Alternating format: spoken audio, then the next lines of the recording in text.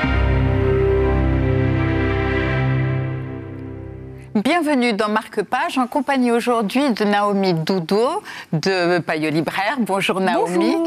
Euh, c'est l'histoire d'une BD euh, et puis d'une pilule qui, fait des fois des petits miracles. Ah oui, des petits miracles. Euh, est-ce que vous pouvez m'en dire plus? Donc la BD s'appelle Les Cobayes et c'est l'histoire d'une pilule qui doit être mise sur le marché et donc testée et qui va changer complètement la vie de trois personnes. Une artiste manquée, une personne qui n'a absolument aucune mémoire et un homme très mauvais amant.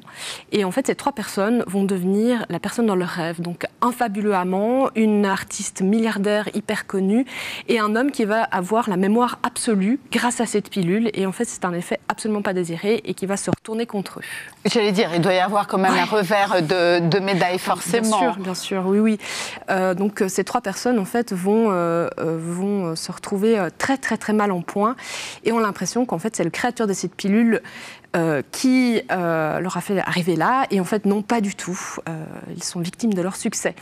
Et c'est une sorte de thriller pharmaceutique vraiment très intéressant, dessiné par une ligne claire, en fait, de Monsieur Barral. Oui, il faut dire qu'en fait, c'est un duo qui est Absolument. assez, tout à fait. qui est assez doué puisqu'on retrouve ben, Benacquista. Oui, Tonino Benacquista, donc on le connaît bah, comme auteur de romans, mais scénariste. Il me semble qu'il a fait aussi des pièces de théâtre, mais euh, bah, un peu un touche à tout de génie. Oui, alors euh, tout à fait, vraiment. Et là, ça passe parfaitement bien en bande dessinée. Euh, et c'est un one-shot. Euh, one-shot, donc je traduis. Voilà.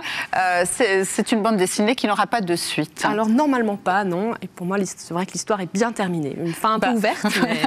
Mais je vous remercie, Naomi. Ce livre est disponible chez votre libraire. Marque-page, c'est terminé. À bientôt sur la télé. Merci.